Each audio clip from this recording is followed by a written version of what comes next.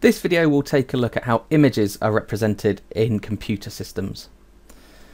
So we've seen before how CPUs can only deal with sort of two states, they're made up of switches, and therefore they can only represent 0 and 1, hence the binary number system.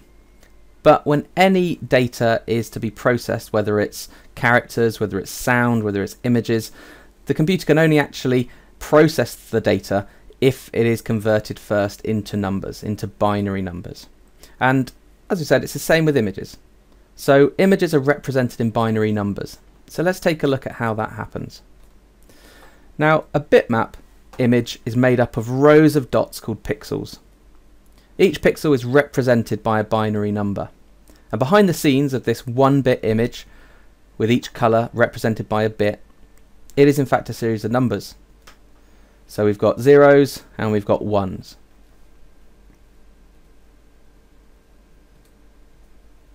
So with a 1-bit image, each pixel is represented by a single bit, a 0 and a 1. A 0 represents white and a 1 represents black.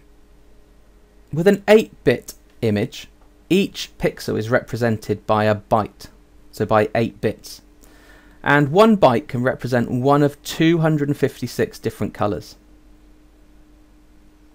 With a 24-bit true colour image, each screen pixel is represented by 3 bytes, and each byte represents a shade of either red, green or blue, which combine to provide the pixel colour.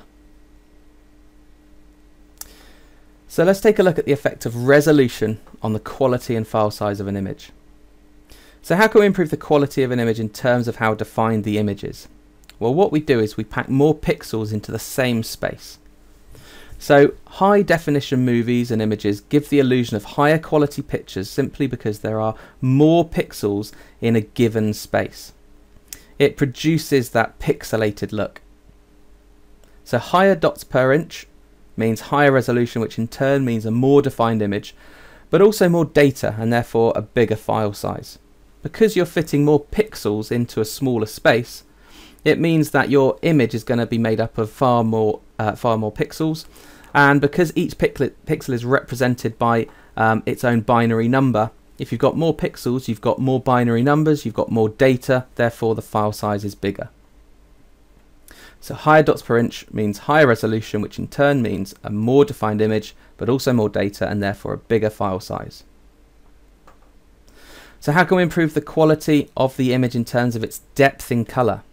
So the answer is that we have more colours to choose for each pixel. So the greater range of colours makes the image look more real. So higher number of possible colours that a pixel could be means higher colour depth, which in turn means a more real looking image. But just like before, if you've got more data for each pixel, so lo longer binary numbers representing each pixel so that there can be more possible colours that each pixel could uh, represent, um, it means more data. So therefore the file size increases with an increase in color depth. So a low color depth means that each pixel is represented by a short binary number. A shorter number means fewer possible colors can be represented by that binary um, number.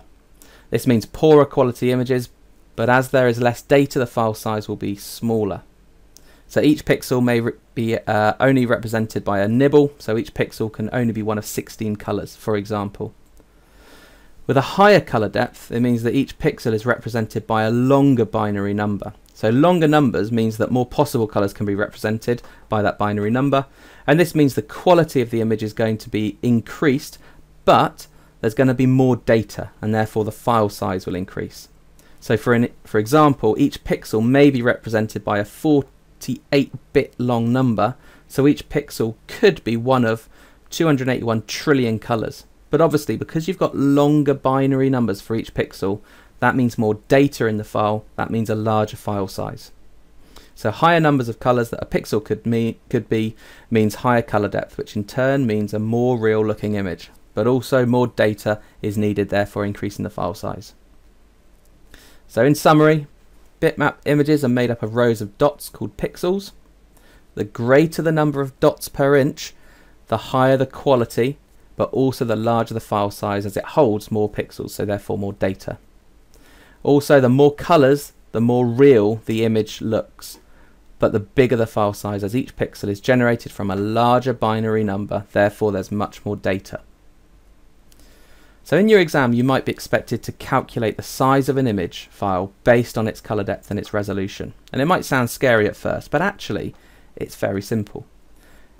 For example, if the file size of an image, um, if you, you're asked to find the file size of an image which has 10 by 10 pixels and a 4-bit colour depth, we simply do the following. So 10 by 10 pixels means that the image is going to have 100 pixels in total. A 4-bit color depth means that every pixel is represented by 4 bits. So 100 pixels, each defined with 4 bits, means that there's going to be 4 times 100 bits of data in total, which is 400 bits. So the file size is therefore 400 bits. Now sometimes they might ask you to work that out in bytes. Now that works out at 50 bytes simply because we know that there are 8 bits in a byte. So if we see how many 8s go into 400, in other words we do 400 divided by 8, we can see how many bytes makes up 400 bits. And of course it's 50 bytes. So in summary, you work out how many pixels are in the image, you multiply the number of pixels by the color depth. If the question requires convert your answer, which is in bits, into bytes by dividing it by 8. And if the question requires it to be written in kilobytes or megabytes, divide your answer by a thousand or 1 million for megabytes.